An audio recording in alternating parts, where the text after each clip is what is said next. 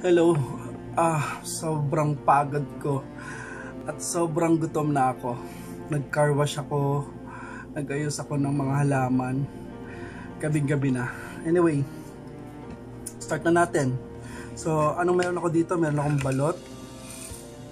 At meron din akong bangus. Actually, wala na akong time magpainit ng bangus. Galing siya sa refrigerator. Kaya medyo malamig pa siya. Anyway, so tara, kain na tayo. nga pala, hindi nga pala ako nagra-rice. Kaya, pinang kakain natin. Pero mamaya, tingnan natin. May tinapay akong binili kanina. Mamaya yun. Bago matulog. Hmm. Sobrang sarap talaga ng bangus. Paborito ng paborito ang bangus. Hindi ako nagsasawang kainin ng bangus. Kahit anong klaseng luto, okay ako doon. Yung iba, ayaw ng bangus kasi matinik masyado. Pero ako, siguro sa tagal ko na kumakain ng bangus, kasi laking dagat naman ako, alam ko na kung paano tanggalin yung mga tinik. Hmm, sarap. Ayan. Now, tikman naman natin yung balot.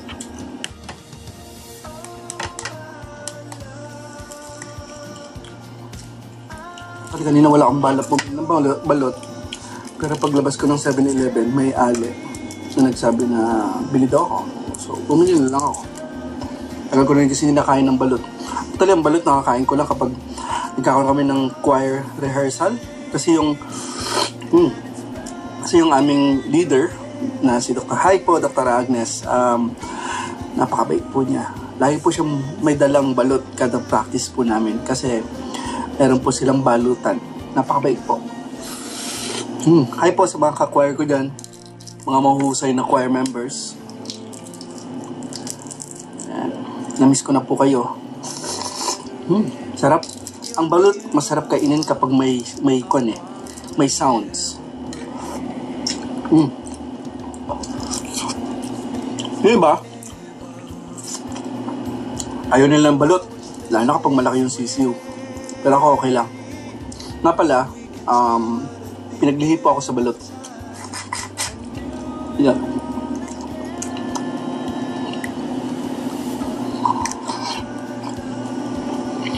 Mm. May may ibang klase pala ng balot. Yung iba po, medyo yung madilaw, yung kanilang hmm, yung pagkadilaw nito. Yan.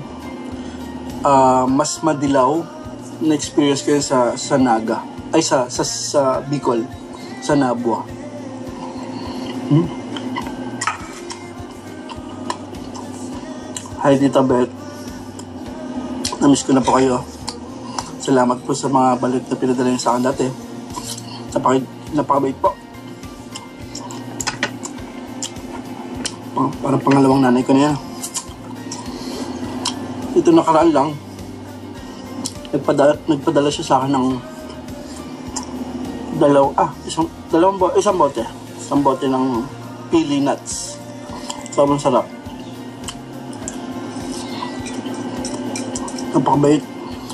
Hindi pa ako nakakalimutan parati.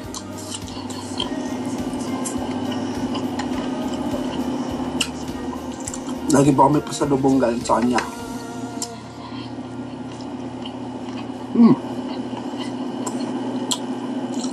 May laing, Bicol Express.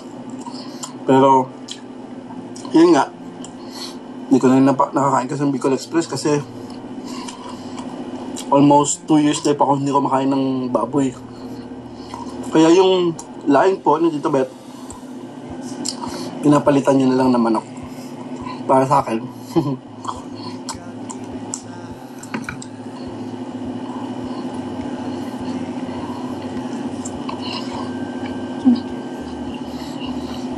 Grabe po gutom ko. 101% ang gutom ko.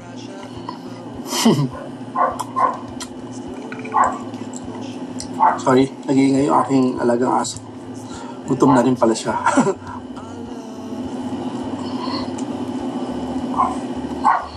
Actually, sa balot po, nakaka-anin na piraso ako ng balot.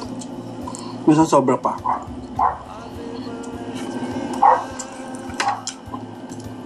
Pero ngayon, yun na, syempre. Dalawa lang binili ko eh.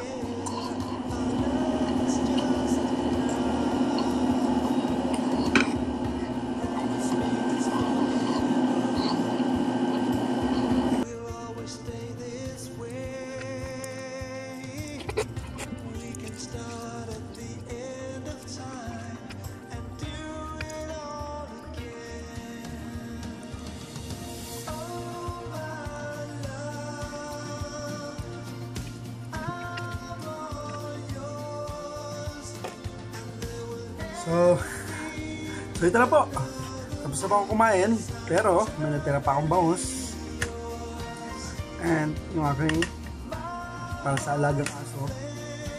So, sobrang sobrang namit ko po yung gutom ko. Kung kanina sobrang gutom ako, ngayon, lumagpas pa. Sobrang nabusog ako sa kinain ko. Anyway, ah, so dito pa rin tatapos yung aking mukbang episodes ng ng pagod at ng bangus, ng balot. So, uh, see you again next time sa aking next na vlog. Please don't forget to subscribe on my YouTube channel. So, please, please, please, subscribe po kayo. Maraming salamat. Paalam.